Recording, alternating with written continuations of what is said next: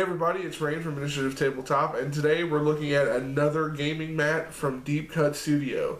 Now, like the old ones that I showed you, we were looking at PVC versus cloth. My personal preference is the cloth mat, and what we have for you today is the Plains theme cloth mat 4x4 from Deep Cut Studios.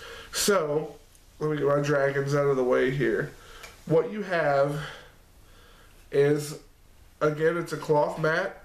It is the 4x4 size. It has a green grasslands theme on here with some stone work, uh, but it is called the Plains theme.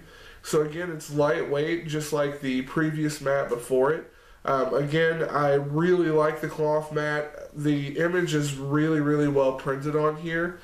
One thing that we were asked a lot with our last video was, can you wash these? How does it fare when you wash them? And I'm happy to answer that for you.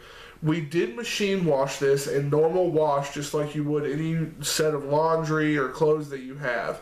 The cool thing is, is that washing it actually pulled the creases out of it. The only reason why you see creases on our mat is because we've had it folded up and I wanted to see if the creases would come back. So that is another question that I can answer and that is the creases will come back if you keep folding it up like I do. Uh, but let's take a closer look at the mat and talk a little more about it. So let's take a closer look at this mat. It's a cloth mat. It's thin, lightweight, very wavy, but the models slide around very easily on here. Uh, I really like playing D&D Attack Wing on this mat because I can just push these guys to where I need them to go instead of having to pick them up because the bases on these guys come off really easy.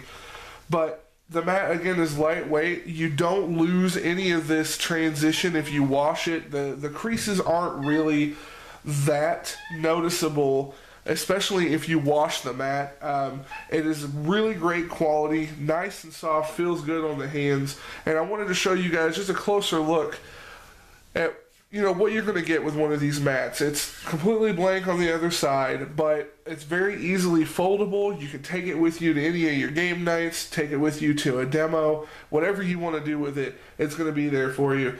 And again, I really like how easily the models slide around, and the mat itself kind of moves around the table quite easily. So that is one thing to look out for.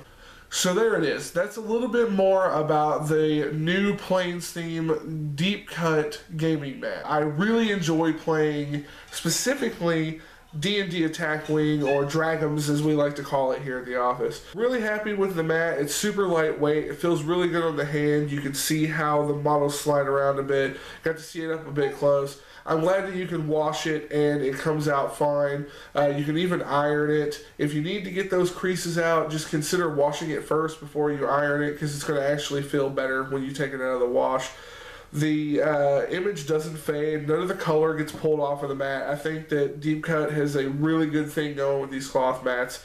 Uh, you can pick this one up for about 50 bucks off of their website. Uh, perfect for anything like this or any other small war games that you might have. So definitely check that out. I want to say thank you to Deep Cut for sending us the mat. And thank you for checking out our videos. Until next time, guys, happy gaming.